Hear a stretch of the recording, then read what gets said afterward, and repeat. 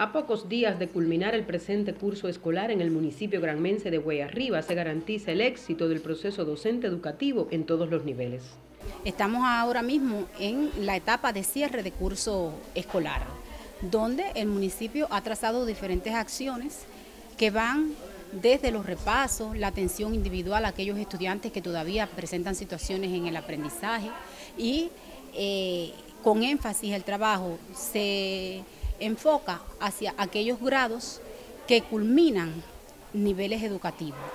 También dentro de las actividades está, por supuesto, el proceso de continuidad de estudios. Estamos trabajando eh, fuertemente con la familia, preparaciones en las reuniones de padres, cómo tienen que trabajar en el apoyo al trabajo de la escuela para que los estudiantes pasen de grado con calidad.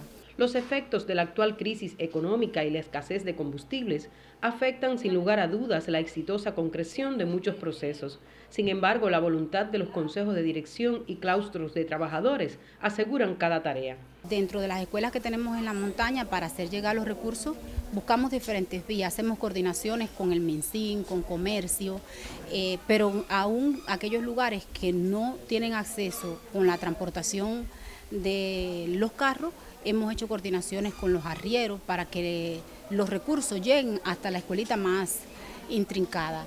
Eh, hacemos coordinaciones también eh, con la parte del MINSIN para que también en la medida de lo posible nos acerquen lo más eh, lo mejor posible los recursos a las diferentes escuelas. se buscan alternativas en todas las escuelas que tienen comedor tienen que tener su huerto del cocinero para mejorar la alimentación.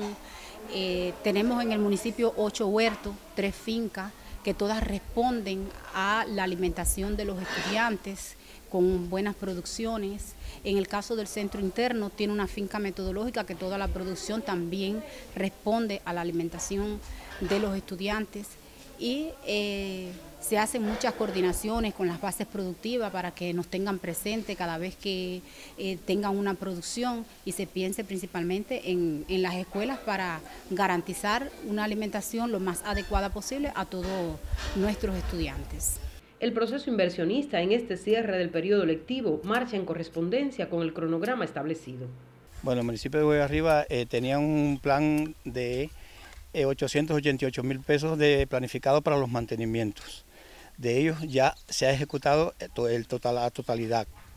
Eh, teníamos el Centro Mixto Martí de Barbado y esta, este internado, el Esteban Gallardo Medina. En, esta, en este internado las acciones serían hacer una ampliación para montar una cocina con gas. Aquí se trabaja con leña, se cocina todo con leña y se humaniza el trabajo de, de las compañeras que elaboran, con todo es más rápido, más fácil, es decir que tiene un gran impacto. El éxito del presente curso escolar está garantizado en el serrano municipio de Guayarriba y las proyecciones para iniciar el próximo periodo están definidas. Elena Lienz, Sistema Informativo de la Televisión Cubana.